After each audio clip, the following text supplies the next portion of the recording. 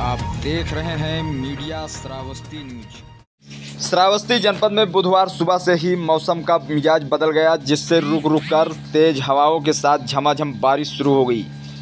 वहीं किसानों के चेहरों पर भी खुशी देखने को मिल रही है तो भीषण गर्मी से भी लोगों को राहत मिली है।